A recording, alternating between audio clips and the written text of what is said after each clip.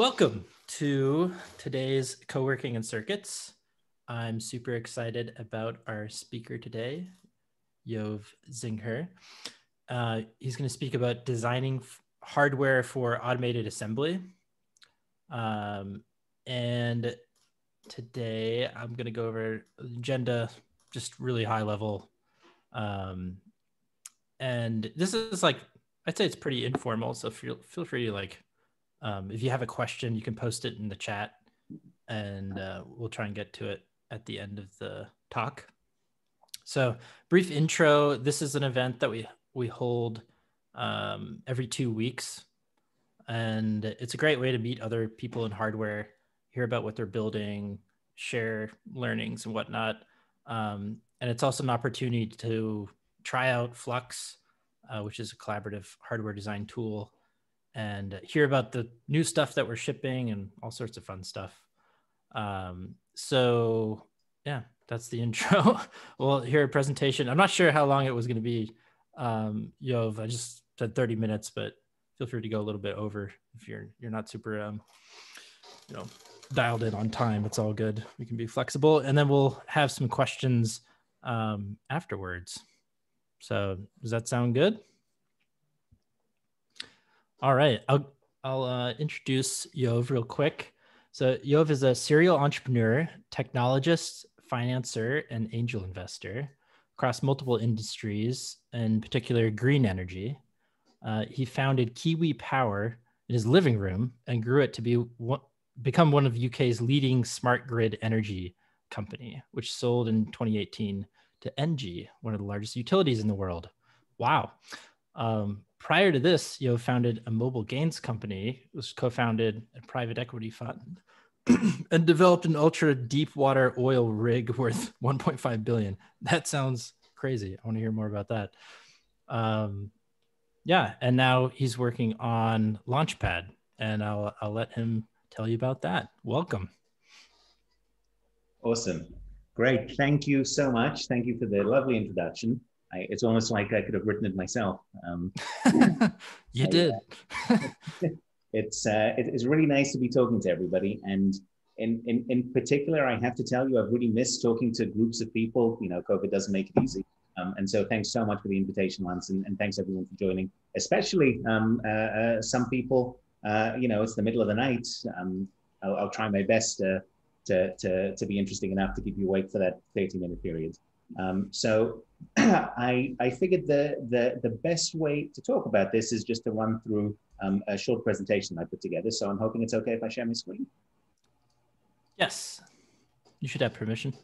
And then hopefully everyone can see this. I'm on a huge monitor over here, so it may be a bit small, but, but tell me that it's all okay. Looks great, looks great.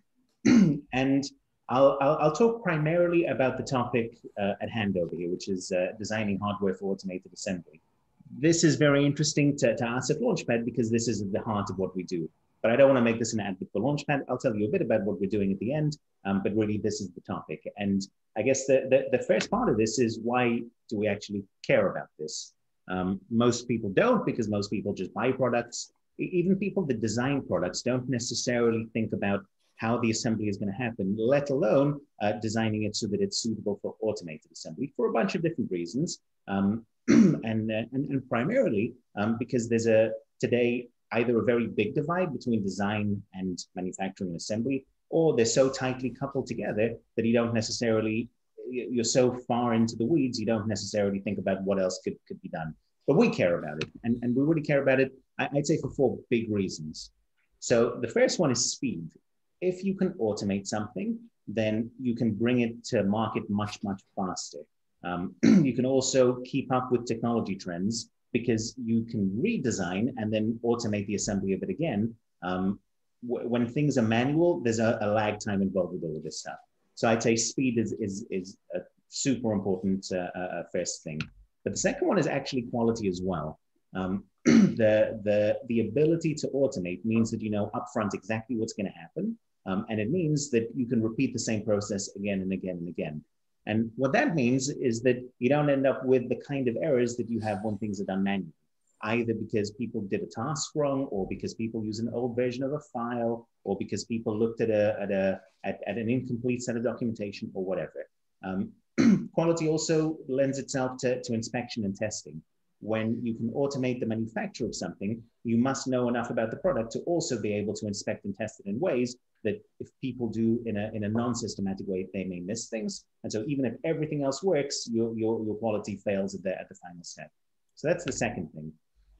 the third thing that, that we really care about in Launchpad is the fact that if you can automate assembly, then you can remove a lot of the labor um, that's involved, which means you can start assembling products in higher cost countries. And, and that means you can build more products locally. Um, th this is really important for us because we think that the ability to build more products locally is going to be good for innovation. Um, you can turn things around much faster. You can have multiple iterations of the same product. Um, being closer to, to, to, the source of making the product means you can be more tightly involved with the design. Um, we think that's good for economic growth for a country we think that in the long run, moving towards a much more automated way of products means that we can even have different business models um, where you don't have to design a product for a long time, manufacture it for a long time, and sell it for a long time. You can have a much more dynamic uh, uh, environment, a little bit like fashion uh, um, was revolutionized by the fast fashion movement. The final thing is, and, and I care about this particularly, is because we, we think that automation leads to green because if you can make things locally, you need to spend a lot less carbon transporting them around the world. If you can make things locally and to demand, you don't throw away as much. And, and we think that's going to be, well, we, some of us think it's important today. We think that's going to grow in importance in, in, in the future as well. So that's why we care about it. And to, to get a little bit more specific, when I say automation, what I'm actually talking about, the, the, the, the sort of the ideal is autonomous. And what that means is automation that doesn't need to be programmed. One of the big barriers to automation today, you can buy machines that do a lot of stuff. Uh, you can buy robot arms that move things around. You can buy uh, uh, robot screwdrivers that, that, that put things together. You can buy glue dispensers. The, the challenge is that most of these uh, uh, platforms need to be programmed quite explicitly. And that takes time and it costs money. And it's inflexible because if you want to change something, you either need to change your entire hardware platform, so the tools that do all the work, um, or and or you need to also reprogram them, which again can take time. Um, we think that autonomous means that you don't need to program it. It's defined by the designs. So rather than engineering your automation to build your product, it's design. It, it, it comes to being because of the design of the product. You spend your time designing the product, and the automation takes care of itself. We think it particularly lends itself to products that need to be flexible um, or and or products that are high in mix. Um, in other words, you're not necessarily making the same product again and again and again, but you're customizing in some way, you're responding to market trends. Um, we also think that if you're able to automate um, in software, um, the, uh, automation comes from software. Software can give feedback. And what that means is you, you eliminate the delay between designing something and receiving feedback from the person that's going to be manufacturing for you, which today can be weeks or even even a month. And and and maybe you guys have some stories. We we certainly do. If you can cut that time down to zero, in other words, have software give you the feedback, um, we think that can dramatically change the way that you design things. So that's why we care about it. That that's what we mean when we say automation. Um, very quickly, what are we doing in this space? Um, and I'll talk about this a little bit more later if, if, if you guys want, but it's our solution is basically two components to it. The first one is software, the second one is hardware, and they're tied together um, yeah, with simulation and AI that we've developed. But in a nutshell, what you see on the on the left over here is our app where you as a designer upload your complete product CAD, so your entire product that you've designed. Our software immediately classifies every component, figures out how they need to get made or bought or assembled, um, and, and gives you all that feedback and figures out the sequence that the product will be assembled in, does all of it for you and just shows you a final output and a final price and delivery date for whatever volume you want. The second part of that is we've designed, and if you want, I can talk about it in depth, but otherwise I'll leave it at this. We've designed and built an automated assembly machine. You can see in graphics over here. Um, and, and if you guys want, I can show you videos of the, of the thing working in the real world. effectively the machine takes all of the components, they get loaded up into, into work trays, and the machine goes ahead and assembles the product from its components. The, the key is the machine doesn't need to be programmed. It doesn't need to be told what to do. It learns everything from the web app in simulation. We have a machine vision system. There's cameras all over this thing um, that then transfers what it learns in the simulation into the real world. So that's what I'm talking about by automation and autonomous. So when, when we think about designing for automated assembly, there's two big things that I want to sort of keep in mind. The first one is I'm talking about a whole product. So I'm not talking about an individual part. I'm not talking about 3D printing something out of plastic. I'm talking about a real product made out of multiple components. Um, we, we, we, say hardware, we say product, we use the, the sort of the phrase interchangeably, but in particular, our sweet spot is mechanical and electric. So a, a, number of components made of different materials together with PCBs, buttons, switches, ports, and so on. Um, we're, we're, we're, also talking about an entire product where some things you can buy off the shelf and some things you need to make yourself. Um, so for example, you may use standardized screws, you may use a standard motor, you're probably going to be making your own plastic components for the housing or the enclosure. Um, you may uh, uh machine specific components, you may injection mold specific components, you may be assembling PCBAs, and, and you may be making your own cables. So we're talking about all of the above into a full product. The, the second thing to keep in mind is that this you know, relatively short uh, uh, uh, talk by somebody that is no expert in everything to do with manufacturing. I have to talk to my CTO Ofer about that. Um, this is really just one component in the entire world of DFX. And X can be any of these, right? You could design for cost, you can design for reliability, and so on. So th these things are not mutually exclusive. Some of them support each other, and some of them are trade-offs. And, and we're talking specifically about automated assembly, but it has to be considered in the context of the other areas of design. So with all of that, really, I, I want to focus on six big areas. Um, none of these are rocket science. Um, all of these are, uh, can be classed as best practices. Um, all of them together make automated assembly much, much easier, much more feasible. Um, th this isn't really a complete list. Um, th there's probably another I'd say 10 categories behind this that we could talk about, but these I'd say are the six big ones. And I'm not going to give you a lecture on every one. I'm just going to sort of break these out. And, and the, the first one, which to us is the most important, is to do everything in CAD. And, and maybe to some of you, this is, you know, it's like saying when you drink water, you should do it out of a, out of a cup. And, and it's quite simple. I'm saying that because I've got a cup of water in front of me and I'm struggling for an analogy. But the, the, this isn't necessarily the, the, the most trivial thing in the world the, the design process can start in pieces of paper, it can start in post-it notes, it, it, can start in email, um, it can start in, uh, in, in Photoshop. So that's fine for people, right? People can take a whole bunch of different data and put it together and figure out what to do. Um, but, a, but a machine really can't, at least not yet today. Our process and our journey has to start with something that a computer can understand in a, in a almost completely unambiguous way, and, and that means CAD. Um, and so a couple of things to consider. One is use a major format that you know you can share with people. Don't use something so bespoke that only you will be able to use it. And, and model everything relevant. Now, that doesn't mean necessarily model absolutely everything, but it does mean don't have components that that that should exist in your final assembly that don't exist in the CAD. Um, we, we see that happen sometimes with cables and fasteners and snaps and that kind of stuff. Um, but also don't necessarily go into the, the, the total detail of modeling out pins and chips if it's not really relevant. Um, it can make the CAD quite heavy to work with and, and, and not really necessary. But you want to make sure at the very least that every component that actually is going to get into an assembly in a BOM is modeled in the CAD. Um, you, you also want to try as much as possible to include metadata in the CAD file.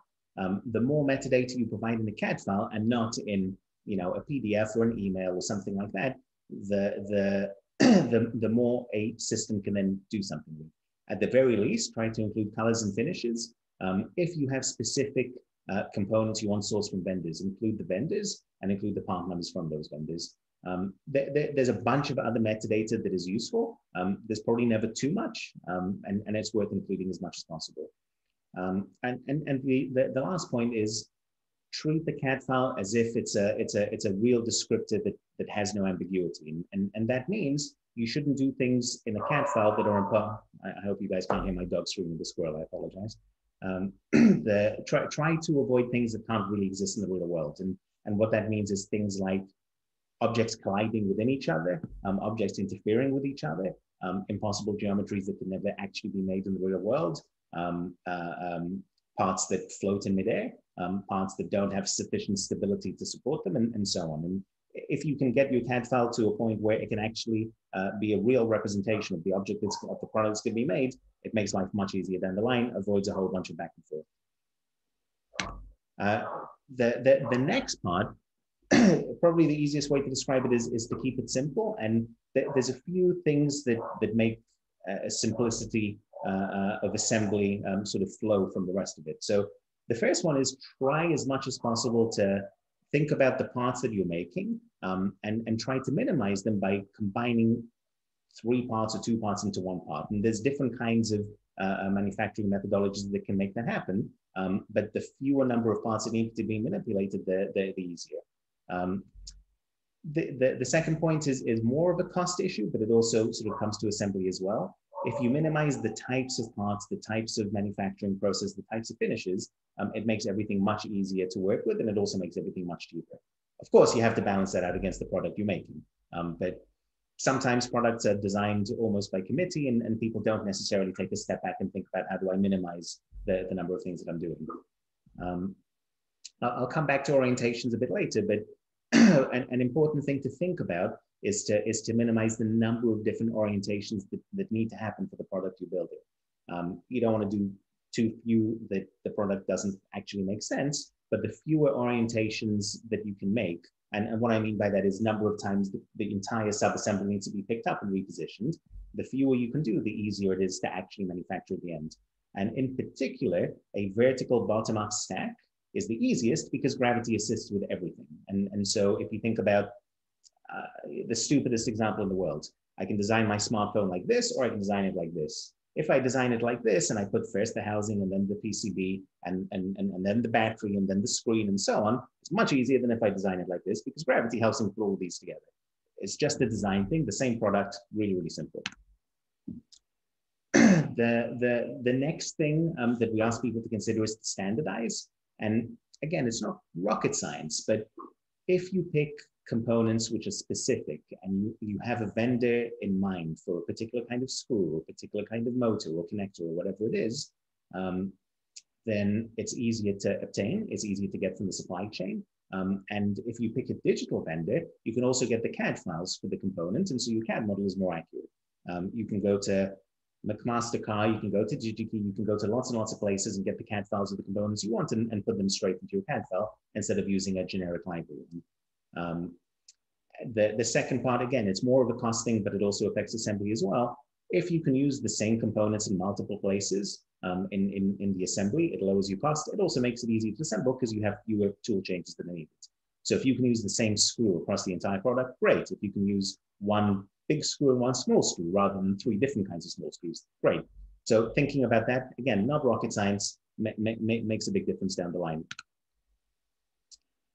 the, the next one is to actually think about the tools um, that are gonna gonna be used to, to assemble your product. And, and the, the first one is to remember that someone or something has to actually put the product together, right? Something needs to happen, and, and, and, and that is something that happens in the real world. And so thinking about how would I pick this up? How would a robot pick this up? Do I have enough space to get the tool in? Um, is this a geometry that can actually be manipulated? And so on and so on. things like uh, um, tabs and, and slots and that kind of stuff, um, they, they help because they help things self-align. And so with a with a with a slot, you know that if you move two components together, they'll just fit together. Versus micron accurate uh, uh, um, uh, positioning without those kind of features. Um, the the tool clearances is something that's really important. The the the way that your product will actually be assembled is different components will be picked up, they'll be put together, um, screws will be inserted, glue will be dispensed, and so on. And you want to make sure that during an assembly, you have enough space to get the tool in, do its task, and get the tool out again during the assembly. Um, one of the benefits of working with, with our software that we developed is it does all of this for you. So all of the tool clearances, everything is done in simulation uh, in real time, and you'll actually get feedback that there is not enough clearance for a tool to be inserted and, and you'll get that before you go too, too far down the line to know where to where to adjust your your your design. But it's something that you can think about as well. Um, I think we had a Yoav real quick, uh, yeah. just because it's relevant. Theodore asked, "How do you handle retooling?" Uh, Theodore, go, go ahead and explain your yeah. question. Sorry, it was just in, re- in, reference to I think you were talking about Launchpad and just showing the assembly by the robots.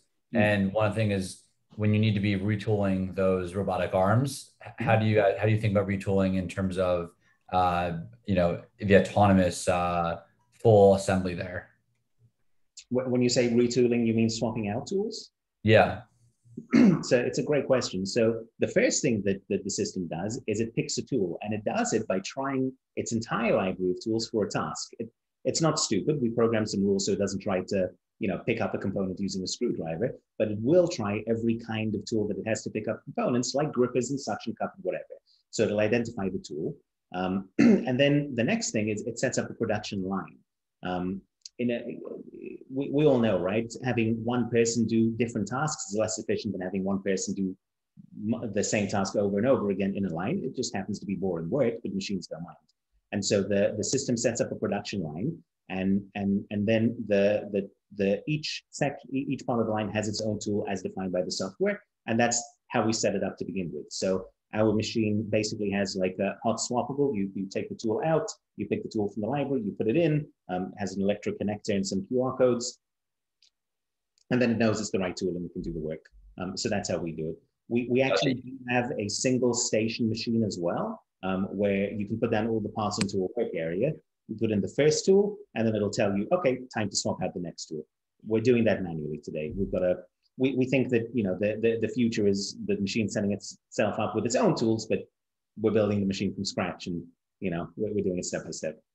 Gotcha. Yeah, you you also kind of answered my second question, which was around um, obviously when you're doing things in a stationary way versus a production line, it, it you know you optimize more for like prototyping because you have flexibility, but you don't optimize for time because it's not repeatable as much. Uh, and so you know, in so far as the thing that you you showed on the screen was a in place assembly was going to ask about how you thought about the break even of when it would make sense to do that versus longer run production uh, when you could actually specialize on the on the production line. But you kind of touched on it in terms of saying you're swapping swapping, swapping between both of those. Yeah, um, I'll, I'll, I'll go backwards a little bit. So if you look at this one, this over here is actually conveyor belt. I don't know if you can see my mouse moving, um, but the, um, the the the tools between the station. You see the first one is a suction cup. The next one is screwdriver. In between them is a conveyor belt. And so that's how we move the, the, the parting process. If the animation was longer, you'd actually see the move between them. Um, gotcha. Okay. Yeah. Makes sense. Thank yeah. you. Sure. Um, there you go. You, you, can see that happening over there. Not, not a super easy task, by the way, because there's a whole bunch of alignments that, that need to happen automatically when you move from one station to the other. And at the end, um, you can just about see it in the corner over there. We have a drop down that drops the end conveyor belt and brings it right back up to the beginning. And so it's a, a repeatable loop. The we have to align all the different tasks on like a single like you know turn of the clock. We'll have to just move everything along the conveyor belt once and make sure you're aligning like the takt time of each individual set of tasks. And that's probably a little bit of a pain to do because they're not they're probably not aligned at all. you're, you're totally right, and that's actually so. So if I if I showed you our backend software, it does all those calculations. It knows the time for every tool. It knows the time for every task, and it, it sets up the line. Um, well, you know what? Maybe I can. Uh, no, I probably can't. It sets up the line to, to, to be the most efficient that it can.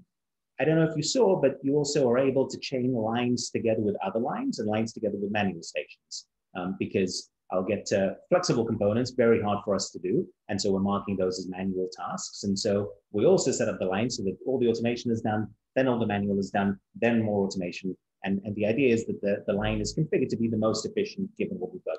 It's never going to be as efficient as a complete custom built purpose line, um, but we don't think it needs to be. Um, we, we think that if you can avoid all of those upfront overheads, if you're making millions of units, you're not going to use our system. But if you're making 10 or 1,000 or 10,000, you probably are going to use our system. Uh, Thanks.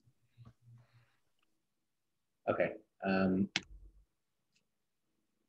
and we've been through this one. I think we talked about all this, right? Standardizing components and CADs and, and all the rest of it. So, right, right, right. Um, so I was talking about the, the visual inspection, um, which is point number four. So in order to get a product built correctly, you want to make sure that it's possible to inspect every stage of production while it's happening. And that means you need to somehow, during assembly, leave room for a camera to look at it or an eyeball to look at it. Um, again, not rocket science, but it's worth thinking about because if you create an assembly that means that it's impossible to see inside during production, you don't know that it's being done right. The, the last point is basically trying to avoid tight tolerances where possible. Some components have tight tolerances, there's nothing you can do about it because that's the functional nature. But in particular, so we're thinking about tolerance stacking. You can define a particular tolerance for a particular component. But if you have lots of components with tight tolerances, and then a final assembly with tight tolerances, the standard deviations could go the wrong way. And so you could be stacking tight tolerances on top of each other um, and end up with a product that can't actually be made. And, and, and that's a particular analysis that needs to be done by itself. Um, today we're doing it manually. We've got a, a, roadmap to actually automate that process of, of tolerance stack analysis as well. Um, th this one, as much as possible, um, think about orientation that we spoke about before, but also symmetry. Um, so the first one is try to avoid multiple uh, orientations because it means the product needs to be picked up and repositioned. Um, and if that does need to happen, you want to think about how that's done. If it needs to be done by a person, that's slow and expensive. Um, if it can be done by a machine because it's a, a, an axis rotation like this or a rotation like this that can be done with, the, with, a, with, an automated tool, that's better than a rotation that can't be done by a machine. Um, again, our system will, will point these things out. Um, symmetrical parts are both easier to make. Um, they're also easier to handle and feed into a machine. Um, it means that you can just place them on a tray without worrying too much about the orientations. Um, and so if you can make a symmetrical part, you should make a symmetrical part. Saves you money and, and makes it easy to, to, to, to automate the assembly. Um, the, the last part over here, the last one is flexible parts. And um, I'll be the first to admit that we don't have an incredibly good solution for this yet. Um, the way our system works is it loads up every component into CAD and then it, it, it, it simulates them and it simulates them using physics. And the simulation of flexible uh, uh, uh, parts in physics is very, very hard. It also turns out that it's really hard to manipulate flexible parts in the real world as well. Um, and so as much as possible, you want to try to avoid, you know, an incredible mess of cables because as of today, machines aren't very good at doing that. Um, and so trying to minimize the number of flexible parts and cables, um, there's other ways to do stuff like contactless connectors, like designing different kinds of circuits. So there are other ways to do things. Um, I got my gardener outside. I hope I hope you guys don't just hear an immense buzzing like I do. No, it's pretty clear. Great. At least for me. Of course he shows it now. Okay, great. Um, so I guess the, the, the summary over here, um, taking all of these together, is that the, designing for automated assembly, it really is just a bunch of best practices, which if you apply, makes all kinds of assembly easier and better, even manual assembly, because it removes a lot of the ambiguity and removes a lot of the possibility for error. So that's the first thing. So it's worth doing. Um, it, it, it, also means because you're forced to define a little bit more upfront, it just means you save a lot of effort down the line. And in particular, when you want to scale up, um, because you already have all the information you need and you haven't designed a product that now needs to be in part or in whole redesigned. And so this kind of uh, this kind of thinking upfront is probably worth it. It's not required when you're going to be building products by hand, which is why I think a lot of people don't do it. But if you do it, um, it makes things much, much easier down the line for a bunch of different reasons. Um, that's basically it. Um, I, I, just put a couple of notes over here about us um, for anyone that's interested. Um, so we're a new company. Um, there's, uh, you know, there's only about 15 of us and, and, and but, you know, all experts in the field. Um, we, we're particularly suitable for the complex multiple component um, uh, kind of products that we spoke about. Um, so not so much for, um, not, not so much for small plastic toys or something like that, but, but yes, for IoT devices and medical devices and, and aerospace subsystems and that kind of stuff. Um, and also not for the super, super high volume. we, we think we're particularly suited to the tens to tens of thousands of units. Um, we, we, manufacture the components using a network uh, of manufacturers built in the US and, and, a few internationally as well. And, and we're signing up customers now for, for, for, um, for, for our beta test. So if anyone's interested and has some specific requests, you know, there's my email address, write, write to me anytime. Amazing. Thank you, Yo. Woo! Yeah, yeah, yeah. Virtual claps. I'm I'm super excited about what you're doing, and I'm super impressed with how far you've come in such a. I'm, I'm super excited about what you guys are doing. I think it's awesome. Yeah, it's it's interesting that we're both kind of catering towards, uh, you know, the ten thousand k uh unit realm. You know, I see tons of awesome partnership opportunities and happy to happy to meet you. Um, I had a question about just some of the examples of products that you might be excited about, uh, either now or like near future, um, that you can't really do well before this type of technology. Like, is it are are these products like more bespoke, you know, or is it more about making uh, products that you could manufacture, basically like smaller batches, more accessible, you know, to uh, small businesses? Yeah, for the cost savings. I'll give you three quick examples of, of real customers we're dealing with now. Um, and and they're, they're, all different, right? The, the, the, the, the primary reason that, you know, they, they see the value of what we're doing. So the first one is a company that makes um, like residential solar and battery systems.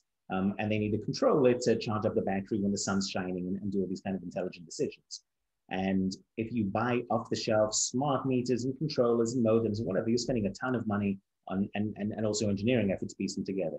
If you design your own uh, uh, product, PCB with, with, with all the, uh, um, all, all, the required sort of current sensing chips and that kind of stuff on there, um, you dramatically reduce the cost and the complexity. But they don't need to make 100,000. They need, well, they need 10 or 50 now in order to do their pilots, and then they need a couple of thousand at a time. Um, and that's really hard, right? It's really hard to make more than a few by yourself but but but not 10,000 or 100,000 with a you know with an offshore manufacturer. Um, it's a lot of work and it's a lot of pieces that need to come together because you need the circuit board, you need to make it, you need the the enclosure, you need to be able to assemble and quality test them. It's a whole bunch of stuff. When what they really want to be doing is, is selling solar panels. Um, and so being able to design and, and then just upload it and get us making it and they know that it works is a big deal. Um, but a, a, totally different kind of example of a customer is, let me think which the best one is. Let's say, so we're, we're now uh, working with a large white goods manufacturer that, that wants to make a new product. And, and, you know, they make like fridges and dishwashers and that kind of stuff. And they want to make something which is much smaller sort of consumer electronics. And they don't want to make a million of them. They want to make a couple of hundred and then a couple of thousand to test out. And their supply chain isn't built for it, right? The same, the same enormous factory that can make a dishwasher can't make consumer electronics. And, and, and that slows things down on, on their side when it comes to innovation because they can't do it in-house. They can't do it using the existing suppliers. Um, and, and so how do they do it? It's not like a startup that you can just get on a plane and go to China and figure it out um, because there's processes and that kind of stuff. So that, that, that is really interesting for them. Um, I guess uh, uh, a third one is an aerospace company. Um, we're, we're, looking at a couple of a couple of subsystems for them. And for them, a really, really important thing is that their products are made in the US and that their existing, similar sort of problem, the existing supply chains can make missiles, but not necessarily a, a control panel that, that is completely new. It takes a really long time and it's super expensive. So being able to have this kind of automated in the US solution to do it really, you know, dramatically speeds up the way that they can do stuff. Um, I'll give you another example though. We're, we're, now working with a, with a company that has already made some products in a, in a, with a contract manufacturer in China. And because of everything that's happened over the last year, can't do it anymore. So they own, they, they, they own the designs. They know they can be made. They actually have products in, in, in the market today, um, but they can't make any more because the manufacturer is completely overwhelmed. They, they, they've lost interest in making this product for whatever reason. Um, and now finding a new manufacturer is really difficult. The fact that they can just get their files to us, make sure that, that, that you know, it fits their requirements and just start making new products at a relatively cost comparative way to, to what they were doing, um, su- super attractive to them. Yeah, that that's amazing. So that puts them more in the driver's seat, and they can kind of ramp up and down manufacturing more as needed. And if they're U.S. based, they already have access to. I, I think more and more people care about it. The the you know everybody cares about the cost of their product. And the, the good thing about working with the cheapest offshore manufacturer is you have the cheapest cost. But the downside is things can go wrong as well, and, and then you're suddenly stuck. So, you know, it's nice to have some alternatives. Yeah, I bet your iteration cycles can go way down and become like much I'm shorter. Really, I'm really excited for the first customer to turn around the product, uh, a new product dramatically faster, and then iterate on that product in a way that's just never been done before. We, we haven't seen it yet. Maybe someone's listening today that wants to be the case study yeah that's so cool maybe Um, we have a question from John Foster. It says, in regards to standardized components, do you have a list of what that can be supplied by you to help? Maybe this is stacking on what another builder has brought in to make, which makes it cheaper. Designing inside the box has some advantages. It's a, it's a, it's a really good point. So the way that we operate at the moment is we're not keeping stock, we're not keeping inventories and that kind of stuff. And, and so we're using the same um, digital vendors that you could use, um, and we're integrating directly with them. Um, sometimes with better pricing, but the, the sort of the, the again, I'm sorry if you can hear that. Um, it's okay.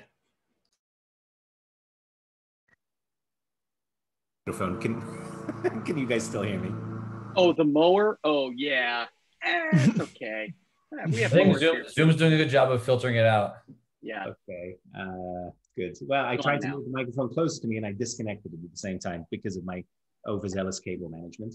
So what what what, um, what I was trying to say is that we're, we're, we're sourcing from from standard vendors now, and so we're not really yet at a place where we're sharing components with different uh, with different projects, but it's definitely on our on our roadmap. Um, we we do um, we, we provide like guides on the I wouldn't say the best vendors, but the standard vendors to use.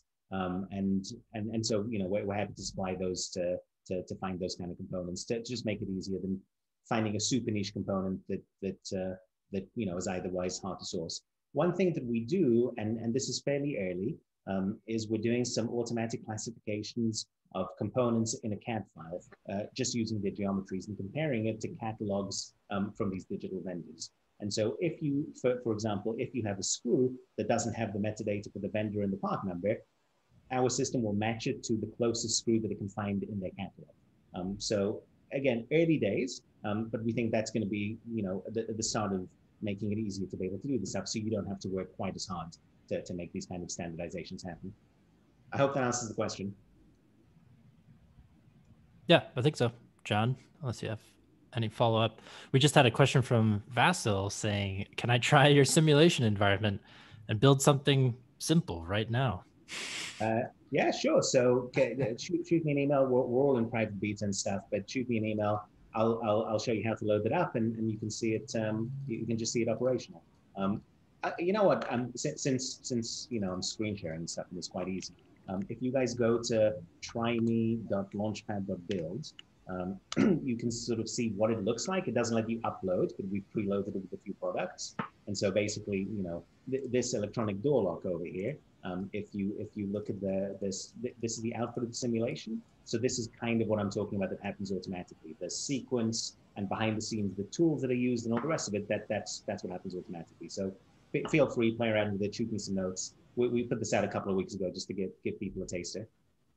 Yeah, that's amazing. Do you foresee the that tool i'm kind of curious about your product roadmap do you i mean obviously you'd want it in the editor like eh, in the cad tool as you're designing you get that manufacturability feedback you know kind of like solidworks if you're designing something that's injection molded you get draft angle feedback you know as you're designing do you foresee your company like building a design tool or or not?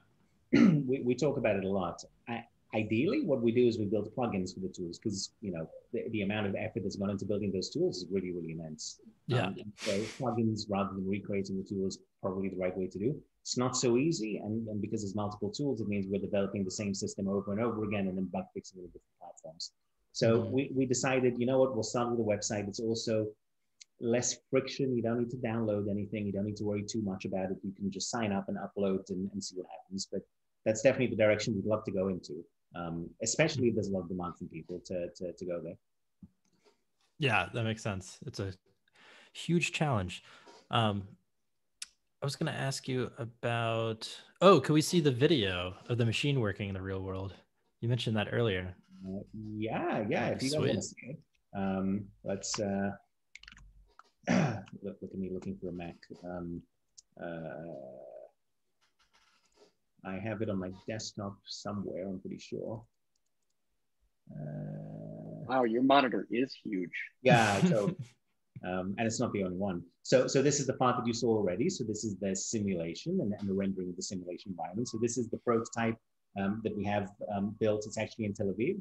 And so this is the same product using the same components. This is a single station machine actually. So you can see, you know, you can load up the same components over and over, or you can load up multiple components. Um, you can actually see over here, one of the things we did to, we, we, we did the calculation, a lot of times you'll be using two tools next to each other. And so we built, each tool can actually have two tools. So in this case, it's a, it's a, it's a suction and, and a screwdriver um, and, and following the same uh, um, things that are worked in a simulation. This one is actually a glue dispenser and then a, a housing. This was a real customer that we delivered um, in Israel, um, uh, basically gluing a lens onto a housing.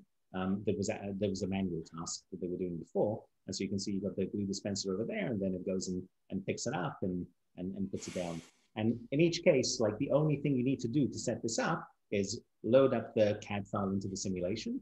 Um, it tells you which components to put down and what tool to put in. You swap it in, you swap it out, um, and then it takes care of the rest of it for however many units you want to do. Wow, how cool is that? I have a yeah. question about that. I is there like a custom jig you have to make? It seems like it, right? To hold the, the thing in place. There's like a 3D printed custom jig. Is that also an automated part of the process, or is that something great, you guys do great, manually? Great question. Great question. Actually, so I'll, I'll bring it up so that you can see exactly. So in the simulation, you see these red things. So these mm-hmm. are movable uh, uh, fixtures um, that the simulation tells you where to put, um, and then you put them down. So, so that's how we're approaching it now. That's not the, the end goal over here. Um, the end goal is to make it completely automated um, with, with a movable uh, fixture that does itself. We're not there yet. Um, you know, we're, we're doing it step by step, but that's like the, that, that doesn't solve everything, frankly, right? There's still some geometries that you can't fix this way. And you need to have either, you know, a custom jig made or machine or 3D printed or whatever. So we haven't, we haven't solved every problem in the world over there. Um, gotcha. and, yeah, that, that's, the nice thing is the system can tell us, right? It'll tell us this particular orientation won't work, and so you need to design something. And then a human being needs to step in. One, one of the things that we've really sort of thought about is if the only thing we can do is work with 100% automation, we're really going to be limited. And so we designed a system to figure out what can be automated and also what can't be automated for a human being to look at. Hmm. Um, gotcha. Thanks. Can, can I ask? Uh, uh, I uh, I know uh, why you uh, make this um, uh, fixed uh, elements because I work with a CNC machine about five years, and I, I, understand how it's important to fix the material that you work on. But um, I have um, think about combining the 3D printer to uh, mix make this fixing tools mm-hmm. before you you're providing, and also we can we can use you can use the 3D printer to make enclosure um, uh, produce it without uh, uh, fixing elements.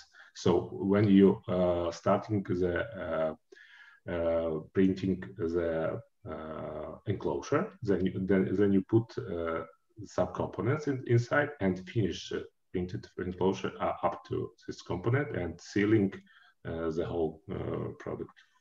So these are both really good points. There's a third place, by the way, for, for 3D printers, which is the trays that hold the components. That's another place. So as well as fixing the components so that they move during the assembly, you also can print, let, us say you have a, a geometry of a, of a component that really doesn't lend itself to balancing correctly with gravity, you can 3D print a tray where all the components can be dropped into. And that way they can be fed into the machine and, and, and simply assembled. So that's a third place. Um, so, so Ofer, um, our CTO, he was um, VP um, at Flex, the, the contract manufacturer, with two responsibilities. One was um, automation, global automation, and the other one was additive manufacturing. So he, he, he very much thinks about this stuff. Um, and, and you're right, we're, we're, thinking about those things for, for, for all of the above. One of the, even the enclosure, by the way, one of the, the cool thing is that, you know, when you load up a component, when you load up a product and it breaks down the components, the system will guess that you want this made with a 3D printer because of the volume. And then you can click and change from 3D printing to injection molding, or you can pick the different material with a different kind of 3D printer. Um, and the prices get updated automatically for you. Um, and so, you know, we, we think about 3D printing a lot where, where, where it's useful. Um, the, the thing is like the movable fixture or, or the self-configuring fixture, if you can do that instead of 3D printing every time, it's, it's faster. Um, and, and so, so that's why we're doing it that way.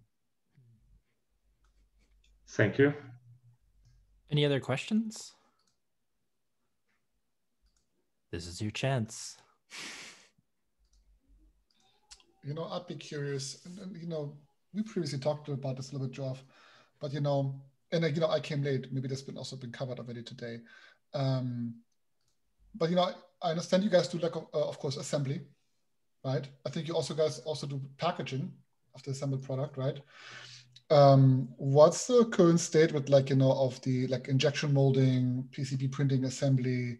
What of that do you do in house today, and, and what of that uh, is out? Uh, uh, yeah, is done by third parties. so the the short answer is everything we're outsourcing today. Um, but our view to the future is that I, I guess it's two things. One is some of the technology we're developing could help with some of those things, and where it does, we, we can apply it. Um, and two is for the sake of speed and cost, we'll be bringing some of those things in house as well.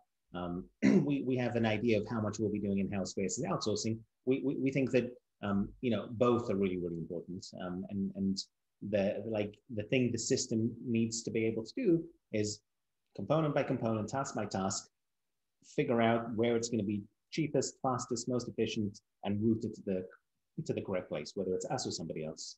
Um, the, the, the, most important thing is that we have those, you know, digital connections with all of our suppliers. Otherwise, it's always going to be more expensive to work with them. Gotcha. And so, that, but that means that essentially you take over the whole project, and then you sub you organize subcontractors to do the injection molding, whatever it may, and then take, take care of the logistics of having it all arrive at your facility in time to be assembled and then shipped. Right, right. And and some of it is also to do with the with the entire product. So if we can speed up, you know, if there's a 50 components in a product and and we can speed up, you know, three of them by doing in-house, but there's but there's still a long lead time somewhere else, we haven't actually saved any time in, in, in cycle time of the entire product. So that also comes into it. Gotcha. Thanks. Any other questions?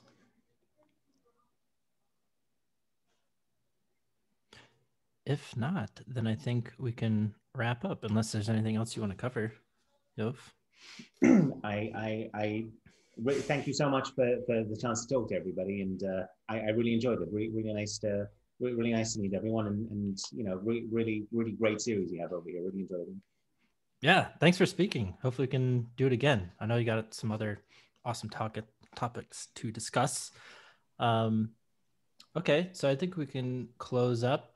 Um, the last announcement that I will give is that we are hiring for many different positions.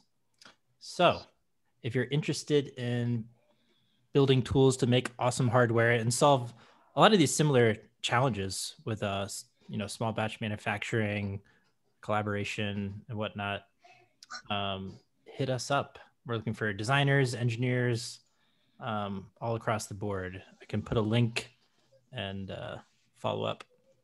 Um, but cool. I think that's it for today. I'm gonna take this recording, uh, put it on YouTube. I'll follow up, and uh, if you have any questions, feel free to reach out. I think you have Yoav's uh, email as well, in case anybody wants to get in touch, right? Or maybe you can put that in chat, uh, Yov. Uh, yeah, good idea. I'll uh, I'll do it right now. Cool. Yeah. Also from my side, thank you, Joe, for taking the time today. This is really great. And thanks everybody else for joining today. Yep. Thank, thank you. you. so much. It's been very interesting. Thank you. Thank you. Bye. Have a good weekend, everyone. Yeah. Take it easy. Bye. Have a good weekend. Bye.